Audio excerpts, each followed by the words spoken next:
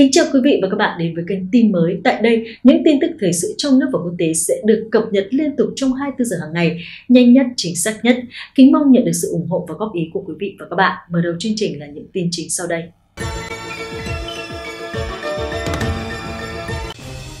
Các bạn thân mến, thời gian qua, truyền thông đã đưa tin về nhà máy đóng tàu của Việt Nam đã hoàn toàn làm chủ được công nghệ sửa chữa bảo dưỡng tàu ngầm Kilo 636, loại tàu ngầm được đánh giá hiện đại nhất thế giới. Thành tựu này không những giúp Việt Nam có lợi thế về kinh tế, rút ngắn thời gian sửa chữa, phát huy tối đa sức mạnh của tàu ngầm Kilo, mà quan trọng hơn khẳng định năng lực làm chủ công nghệ hiện đại về tàu ngầm mà không cần tới chuyên gia nước ngoài. Điều này khiến cho việc đồn đoán sớm thôi, Việt Nam sẽ chủ động sản xuất tàu ngầm quân sự để tạo thế cân bằng trên biển càng trở nên có cơ sở. Thực sự thông tin này ra sao? Khả năng Việt Nam tự sản xuất tàu ngầm quân sự được đánh giá như thế nào? Cùng theo dõi ngay sau đây.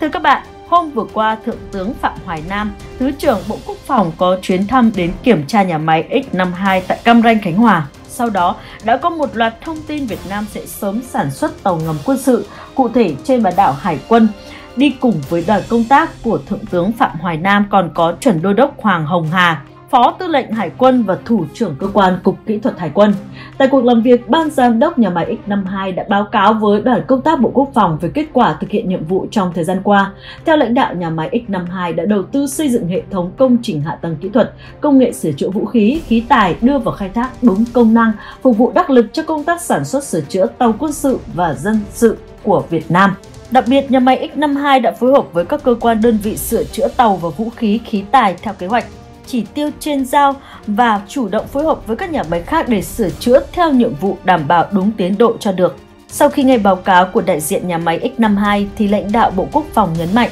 X52 cần tiếp tục tập trung huấn luyện làm chủ trang bị và công nghệ mới, nâng cao chất lượng sửa chữa các loại phương tiện tàu thuyền tham gia đảm bảo kỹ thuật cho các nhiệm vụ của quân chủng hải quân, Bộ Quốc phòng. Thưa các bạn, qua trao đổi trên của lãnh đạo Bộ Quốc phòng và đại diện nhà máy X52, có cơ sở để chúng ta khẳng định rằng X52 đã hoàn thành tốt nhiệm vụ trước đó và sẽ nhận thêm nhiệm vụ mới mà nhiệm vụ trước đó đã được hé lộ vào năm 2018, chính là chủ động bảo dưỡng, sửa chữa tàu ngầm Kilo 636. Hình ảnh do báo Hải quân đăng tải cho thấy điều đó. Ngoài ra, thông tin cũng tiết lộ thêm, giai đoạn 2019-2021 là giai đoạn mà X52 từng bước tiến tới chủ động hoàn toàn bảo dưỡng, sửa chữa các tàu kilo mà không cần tới chuyên gia nước ngoài. Điều này giúp Việt Nam giải quyết được vấn đề kinh tế. Thời gian thì thay vì sửa chữa lưu động tại cảng, đơn vị vốn khó đảm bảo mọi điều kiện tối ưu.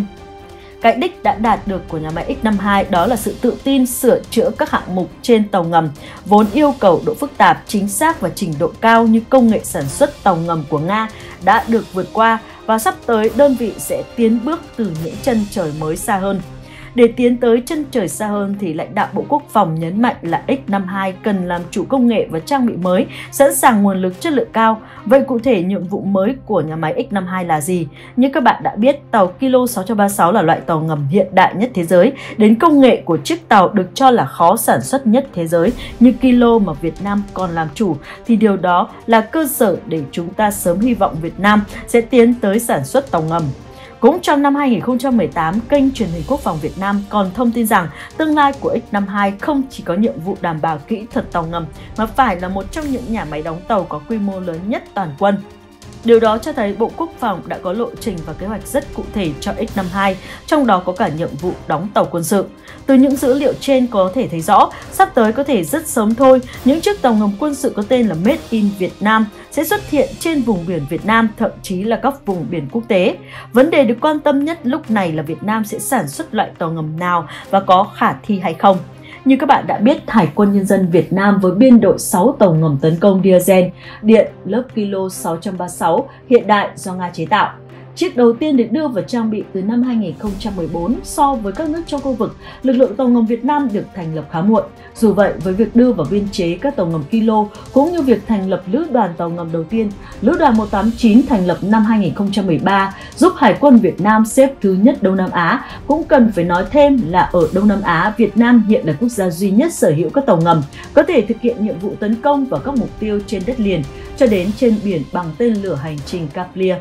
Điển hình có thể nói đến biến thể chống hạm 3M14E của Club S có tầm bắn hơn 200 km và biến thể tấn công mặt đất 3M54E có tầm bắn 300 km. Theo một số tin tức, quân đội Việt Nam đang có kế hoạch sản xuất tàu ngầm có độ giãn nước 100 tấn. Đây là dạng tàu ngầm mini dùng cho các nhiệm vụ vận chuyển bộ đội đặc công hoặc tấn công bất ngờ. Rất có thể trong tương lai, nhà máy X52 sẽ tham gia vào sản xuất loại tàu ngầm này, đặc biệt sẽ là tích hợp loại tàu ngầm 100 tấn này với tàu ngầm kilo để thực hiện nhiệm vụ quan trọng sẽ được tàu mẹ thả ra ngoài. Kết cấu của loại tàu này có một số bộ phận giống với tàu ngầm cỡ nhỏ của Triều Tiên mà trước đó Việt Nam đã mua hai chiếc.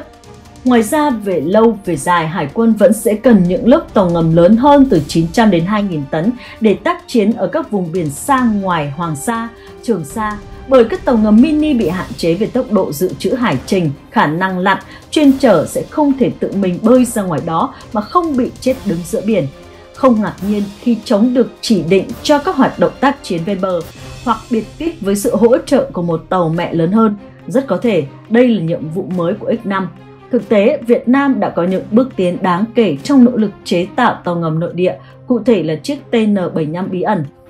vì thế, khả năng sau khi làm chủ công nghệ tàu kilo thì mục tiêu ngoài việc chế tạo những tàu ngầm mini hay tàu ngầm trọng tải lớn hơn là hoàn toàn khả thi và nằm trong kế hoạch của Việt Nam ta các bạn ạ. Thế giới cũng có những mẫu hình thành công mà Việt Nam có thể học hỏi và tin tưởng vào đường lối mục tiêu của mình. Ví dụ như Iran, họ mua một số tàu ngầm mini từ Triều Tiên giai đoạn cuối những năm 1980, mất khoảng một thập kỷ để họ đảo ngược công nghệ từ các tàu đã mua để tạo ra lớp Nahang và Grandian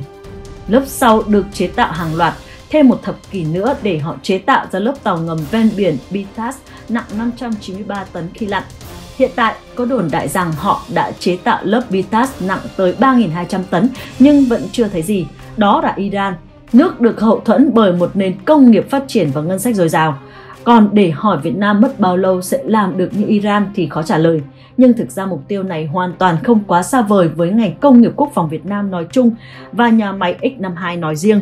Ngành công nghiệp đóng tàu của Việt Nam đã được xác định là một trong những ngành mũi nhọn từ rất lâu. Trong những năm gần đây, ngành đóng tàu của Việt Nam đã ghi dấu ấn rực rỡ. Tổng cục Công nghiệp Quốc phòng đóng thành công nhiều tàu chiến hiện đại như tàu pháo TT-400TP, tàu tên lửa tấn công nhanh lớp Monia, tàu cảnh sát biển đa năng. Ngay chính trong thời điểm này, trước những diễn biến khó lường của địa chính trị quốc tế với nhiều yếu tố bất ngờ và bất thường, việc mua vũ khí hay phụ thuộc vũ khí nước ngoài sẽ phần nào bị ảnh hưởng. Chính vì thế, nhiệm vụ chủ động động sản xuất vũ khí, khí tài là một trong những nhiệm vụ trọng tâm nhất hiện nay được đặt ra trong ngành công nghiệp quốc phòng Việt Nam. Hơn nữa, Việt Nam là một trong 10 quốc gia có chỉ số cao nhất về độ dài của bờ biển ở ba hướng Đông Nam và Tây Nam, cùng với nhu cầu vận tải đang dần tăng cao trong những năm gần đây khi Việt Nam ngày càng hội nhập sâu rộng. Đây chính là những cơ hội và tiềm năng cho ngành đóng tàu phát triển.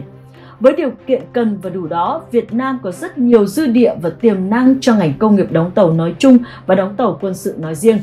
Riêng nhà máy X52 với mục tiêu trở thành nhà máy có quy mô đóng tàu lớn nhất cả nước cũng đã và đang khẳng định năng lực. X52 được thành lập ngày 20 tháng 6 năm 2011 là đơn vị trực thuộc Cục Kỹ thuật Quân chủng Hải quân, có trụ sở tại bán đảo Cam Ranh, tỉnh Khánh Hòa. Trong những năm qua, nhà máy đã thực hiện xuất sắc nhiệm vụ chính trị trọng tâm với phương châm vừa xây dựng nhà máy vừa huấn luyện làm chủ trang thiết bị công nghệ, vừa xây dựng lực lượng tổ chức sản xuất. Nhà máy đã thực hiện thắng lợi các chỉ tiêu nhiệm vụ sửa chữa tàu, vũ khí, trang bị kỹ thuật,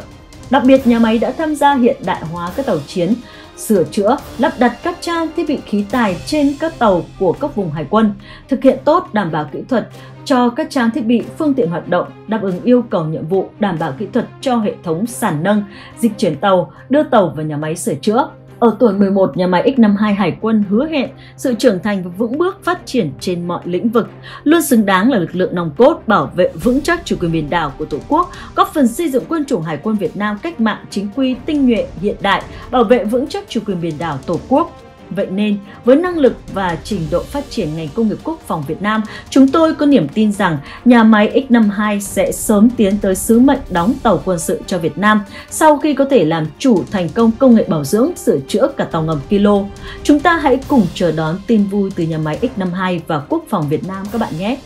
Video của tin mới xin dừng lại ở đây. Cảm ơn các bạn đã ủng hộ. Đừng quên ấn like, subscribe để ủng hộ kênh của chúng mình và không bỏ lỡ những tin tức mới nhất về thành tựu mới của Quốc phòng Việt Nam các bạn nhé. Cảm ơn các bạn đã quan tâm theo dõi. Còn bây giờ xin chào và hẹn gặp lại.